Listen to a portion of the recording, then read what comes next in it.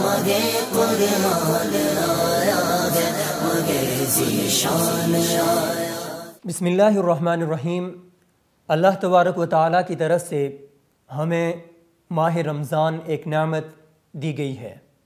اور اس ماہ رمضان میں اللہ تبارک و تعالیٰ نے ایک بہت بڑی نعمت ہمیں دی ہے، اور وہ ہے لیلت القدر۔ لیلت القدر، جس کے بارے میں اللہ تبارک و تعالیٰ نے فرمایا کہ انا انزل فی لیلۃ القدر کہ اس رات میں نے قرآن کریم کو نازل کیا۔ وما ادرا کما لیلۃ القدر؟ پھر لیلۃ القدر کے بارے میں فرمایا کہ آپ کو کیا پتہ لیلۃ القدر کیا ہے؟ یعنی اللہ تبارک و تعالیٰ کسی چیز کی اہمیت جب ظاہر کرتے ہیں تو اس کے بارے میں سوال کرتے ہیں کہ تمہیں کیا پتہ کہ لیلت القدر کیا چیز ہے؟ پھر اس کے بعد اللہ تبارک و تعالیٰ نے اس کی وضاحت کر دی لیلت القدر خیر من الف شہر۔ یعنی ہزار مہینوں سے لیلت القدر بہتر ہے۔ یہ رات ہزار مہینوں سے بہتر ہے۔ اور مفسرین لکھتے ہیں کہ ہزار مہینے مراد لے کر بہت زیادہ تعداد مراد ہے۔ یعنی اللہ تبارک و تعالیٰ اس رات کو بہت زیادہ فضیلت بخشی ہے۔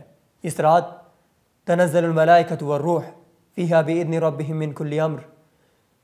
اس کی فضیلت میں یہ کہ اس رات فرشتے نازل ہوتے ہیں جبریل علیہ السلام نازل ہوتے ہیں۔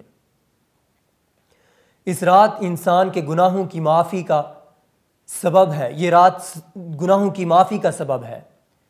اس رات کو پا لینا بہت بڑی نعمت ہے۔ اور یہ یہ رات نبی صلی اللہ علیہ وسلم نے اس رمضان کے آخری اشرے کی طاق راتوں میں رکھی ہے یعنی اکیس، تیئیس، پچیس، ستائیس اور انتیس۔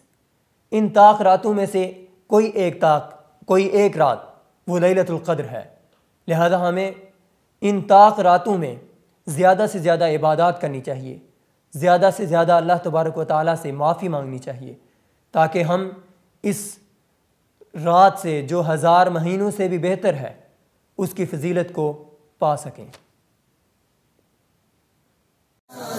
مگے